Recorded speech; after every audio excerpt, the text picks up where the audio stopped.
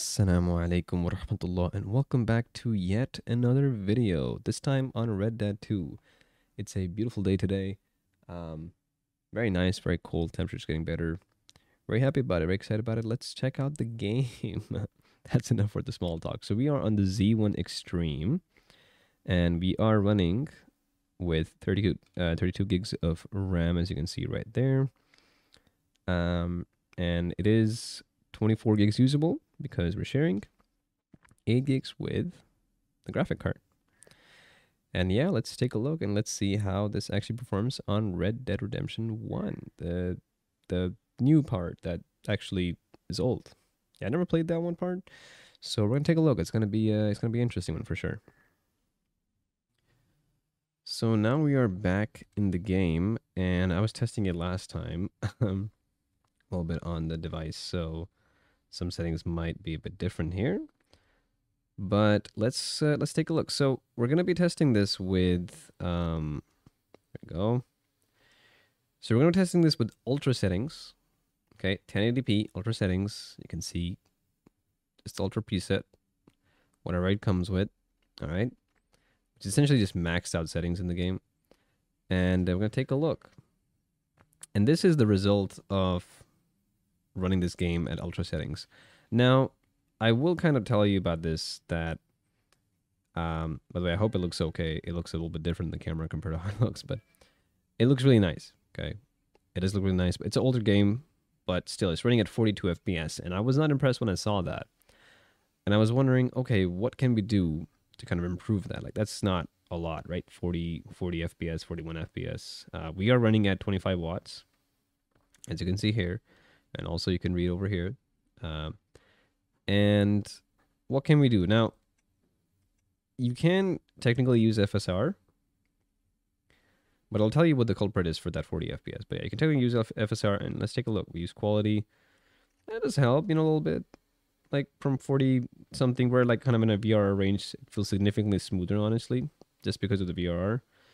Uh, we went from like 40 to like 50, which is quite a quite a decent improvement, like around you know 20% ish and uh, balanced uh, we i think we can see improvement because we were like 51 ish no we don't see anything.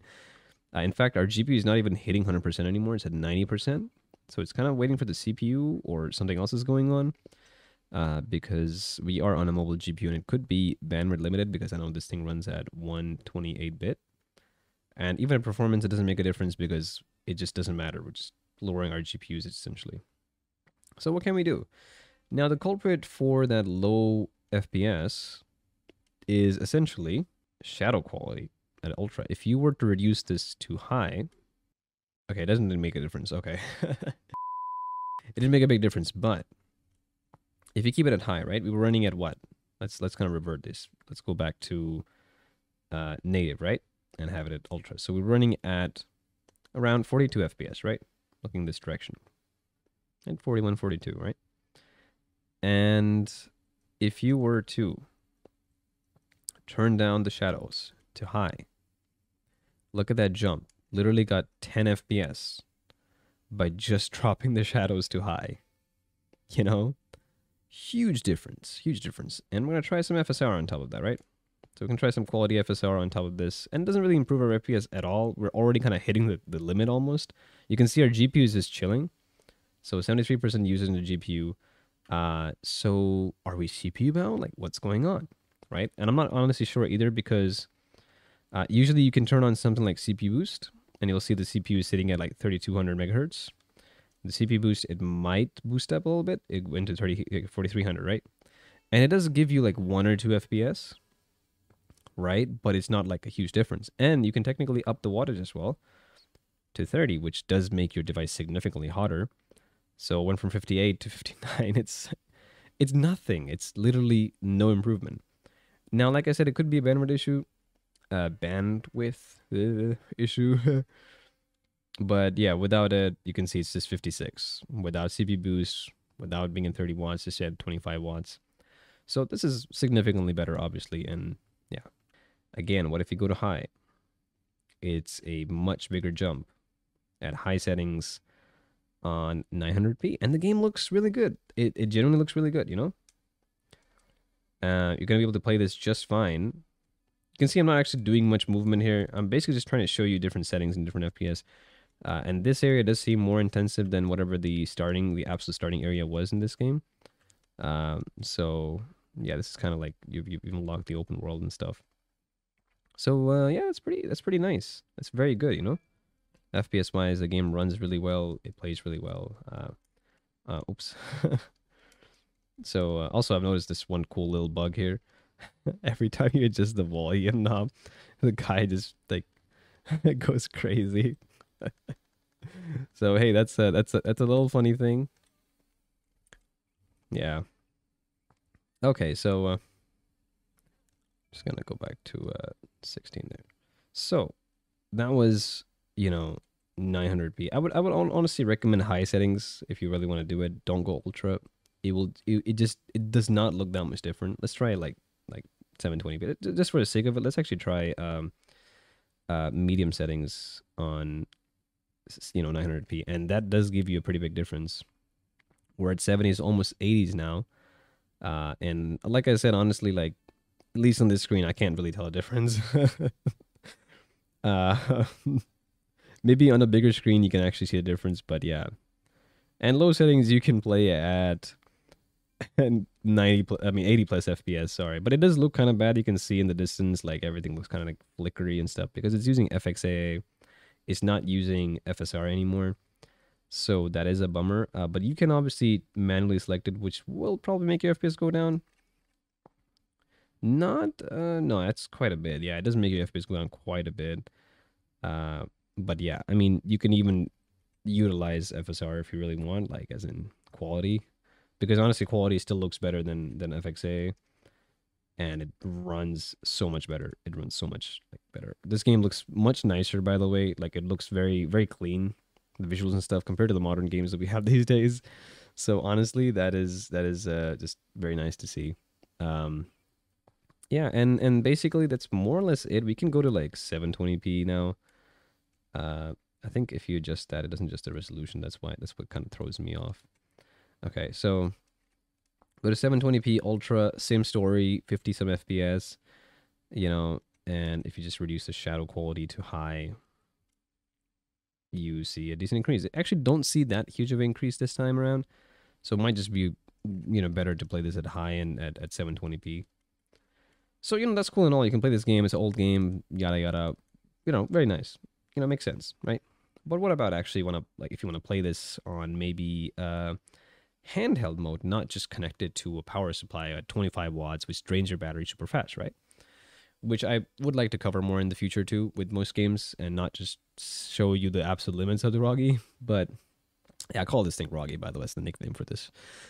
so, what I would say you can do is um, we're going to essentially unplug this. Okay. And bam. Okay. FPS went down because I was actually running it at 10 watts. Yes, 10 watts. I really wanted to see how much can you actually squeeze out of this tiny device if you were to play in handheld mode. And for this, we're actually going to use the built-in overlay as well. So you can sort of get this. There we go. And you can sort of see, I don't know if you can see here, I might actually zoom in in video editing, but it's around at 16, 17 watts, you know? So it's essentially using 17 watts uh, while we're playing this at 10 watts total, right? 10 watts total TDP, right? Uh, which I would say is actually pretty good, the fact you can do that. And I would actually recommend playing like this for battery life. If you want like that really good battery life, you can maybe play it at medium if you still want a balance of graphics and performance because this is not bad. You can actually even cap it at 30 in the settings, uh, and it works well. But it does feel like a lot of latency, mainly because you know uh, we are at 30 FPS as opposed to 60 FPS, so it just doesn't feel that smooth. I can I'm gonna try capping it by the way just to see, but yeah, we have VSync on as well. Maybe that'll help too because we're essentially out of the VRR window now. You can see the temps are chilling. The fans. I don't know if you could hear the fans before, but I could hear them a lot, and they're just, they're just chilling. There's nothing nothing going on with the fans. And you can basically play this if you divide 40 watt, 40, uh, if you divide 40 by 16 or 17, I would say that take the higher number. You can essentially get the total amount of time you'll get in hours because it's a 40 hour battery, 40 watt hour battery in this thing. and you're using essentially 16 watt per hour. Um, 16 watt hour. Uh, that's the basically what's consuming out of that battery, right? So you would expect around maybe two and a half hours, a little bit less, I think, uh, but around two and a half hours, I think, or two hours, 20 minutes from this kind of setup, playing this at 30 FPS. But hey, what if I want to play an old game not at 30 FPS? I actually want a higher refresh rate uh, experience. Maybe I want a 60 FPS. Well, maybe I can even, uh, you know, expect or try low settings. And that actually runs pretty well. 50 FPS, significantly better. Feels significantly better because, you know, there's no delay, no latency, as opposed to what you were getting before. But, you know, realistically, maybe you want to play this at 12. Now, if I were to make it 12, it's going to push it to 15 which ROG Ally always does that, and it's gonna take like I think like two three minutes to like drop it down to twelve. So let's just look at 15, right? Or actually, you know what? Let's just wait. let's just have this long, awkward silence where you and I wait together. uh, it's made. Oh, we're, we're at 12 watts now. There we go. Okay. So we get almost 60. So, like, you know, and you can see here we're actually 20 watts. So you get around, you can actually get two hours out of this because it's 19 watt hour. It's using 19 watts. So if you want, you can play at 10 watts at low settings, uh, and you'll get around two and a half. Or you can play this at 12 watts, and you'll get around two hours of battery life. Uh, assuming yeah, 100% battery battery health, of course. So, but this is this is pretty awesome. Honestly, this is very nice. And um, like I said, you can completely enjoy the game like this in a handheld mode. Uh, and you know, I can I can just pick it up and start playing this. You know, and uh, I have the the autofocus set to like, well, not autofocus, so that's why you're not going to be able to see that. But this is this is unlock it for a second. But you know, I can just like show you guys like this. You know, yeah, it's it's a bit blurred, isn't it? Okay. You know, it, it, looks great. Honestly, it's it's it's such a such a nice experience at this uh, FPS and stuff. But you can sort you can tell the stutters, like it is not, it's not the smoothest. It is definitely stuttering a lot here and there. Uh, so because we are power starving it so much, um, but if you lo- if you were to like like lock the FPS to 30, it would probably be better. And 15 watts is pretty nice. 15 watts seems to just it just handles it like a champ. I mean, we're we're running at like 60, sometimes even 80, but yeah. So it's pretty nice. It is very nice. I'm just gonna try to put this back in place, hopefully, so you guys can still see it. Okay, cool. It's very nice, and uh, that's about it. I hope you guys enjoyed the video. Um, and um, this was Red Dead Redemption Red Dead Redemption 1. I can't I just can't say words, man. I can't. but um uh, honestly, I'm going to try this game out and I'm going to be testing a few more games as well very soon. So let me know what you guys uh, would like me to test next. Uh and yeah, I mean you don't really need 32 gigs of uh, RAM for this one. I mean it's not even using 1 gig on the on the uh, VRAM as you can see. I mean it's 1.3 in total, but yeah. And yeah, so requirements wise, I mean, come on, like this is an older game, of course, but honestly, looks really nice for for an old game. Uh, yeah, plays really well too. I'm I'm kind of impressed actually. But anyway, thank you guys so much for watching. If you like this video, please uh, leave a like and um, subscribe if you would like to see more such content. And uh, you know, support me on my Patreon if you'd like to support me. And yeah, appreciate it a lot. See you guys in the next one. Assalamu alaikum wa rahmatullahi wa barakatuh. Didn't didn't he hit me? He said you can't see me. What? I, he said you cannot see me, but he hit me. What's going on, man? All right.